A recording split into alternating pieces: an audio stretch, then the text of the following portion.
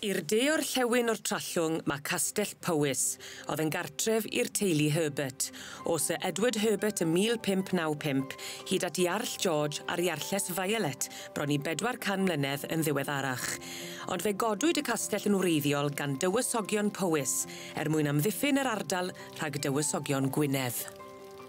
Y castell yn wreiddiol yn mynd yn ôl at yr trydydd ganrif ar ddeg pan gafodd ei adeiladu gan Griffith ap Gwynwynwyn. Castell milwrol yn wreiddiol a wedyn mae wedi bod yn gartref mae wedi bod yn tŷ a dyna pam wedyn mae gennym ni'r gerddi ffantastig hefyd. A fi'n gweld y planhigyn me, Ife hwn yw'r planhigyn sy'n gynhenid i Gastell Powys 'i hunan? Dyna ni. Artemisia Powys Castle ydy hwn. Yn y saithdega gafodd y prif arddwr hyd iddo fo um, fel darn o blanhigyn arall ac cymryd uh, toriad oddi arno fo a tyfu fo mlaen.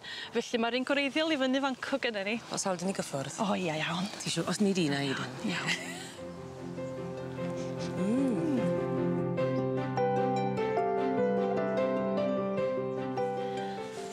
Dyma ni o ran Heledd yn rhan yr ardd sy'n dod o dechrau'r ganrif ddwytha. Um, gafodd Iarlles Violet newid yr adran yma'r ardd. Oedd na tai gwydyr gardd cegin oedd yma'n reiddiol, mm. ond oedd eisiau gardd ffurfiol yn ei le.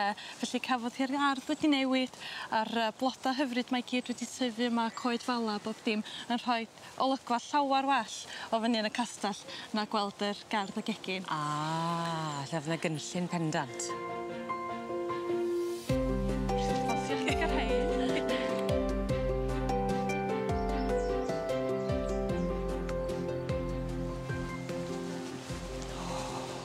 Waw. Mae o'n ffantastig yntydi? tydi.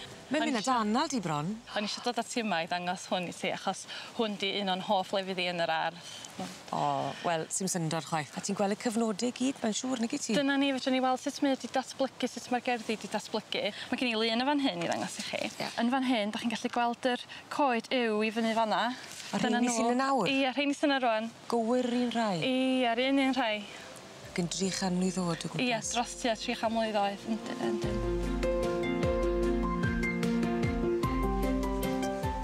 Saith o weithwyr llawn amser yn cynnal a chadw'r gerddi yma yng Nghastell Powys ond do's 'na beth ddigon o help llaw i'w ga'l, nagos? Here we are. Do you want to have a go? And then just... On there. Go straight? Yeah, we'll go straight and then go upwards. Okay. Quite close into the hedge. Stand back. Stand back. I will stand back. there you go. Slightly more upright. by that there. Oops. There we are. Is that too much? Lovely.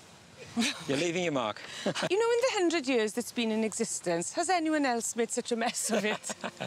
Good thing about you is it grows back very quickly. Mae hi wedi mynd yn arferiad erbyn hyn i'r garddwyr dorri patrwm gwahanol i mewn i'r gwair yng Nghastell Powys. A gyda chan mlwyddiant y rhyfel mawr yn parhau, pabi ydy'r patrwm eleni. So if I start mine,